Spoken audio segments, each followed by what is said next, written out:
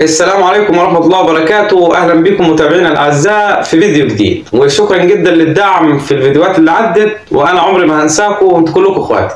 فما تنساش تعمل like و share للفيديو ده لو المحتوى عجبك. لو ما عجبكش ما تعملش أي حاجة. وندخل في الموضوع على طول. طبعا حضراتكم كتير منكم بيسافر الخليج أو الدول الخليجية يعني زي الكويت والسعودية والإمارات أيا كان الدولة يعني اللي أنت بتروح فأكيد هتلاقي جنسيات كتير جدا هندي وبنغالي وإثيوبي وجميع الجنسيات فهتلاقي كل واحد عنده ثقافة مختلفة.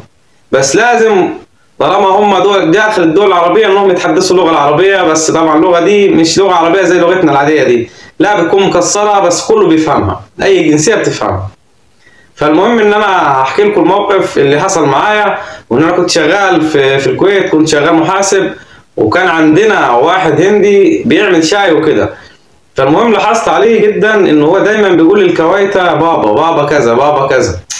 فأنا مش فاهم هو ليه بيقول بابا وكده.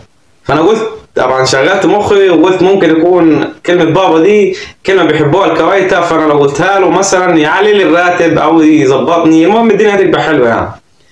فأنا ابتديت أقول للكويتي بابا بابا بابا. فجابني واحد مصري بيقول لي أنت بتقول له بابا ليه؟ قلت له عادي يا عم إيه المشكلة؟ ما هو الهندي بيقول بابا إيه المشكلة يعني؟ قال لي لا دي بابا دي يعني سيدي. وما بيقولوهاش غير جماعة خدامين وكده. فأنا من يومها ما قلتش بابا خالص لأن أنا ما قلتش لأبويا نفسه يا بابا. هقول لحد تاني يا بابا فدي كده موقف حبيت أحكيه لكم عن سبيل الهزار أي حاجة. ما تنسوش ال like وال share وإن شاء الله صالح الدعاء منكم والسلام عليكم ورحمة الله وبركاته.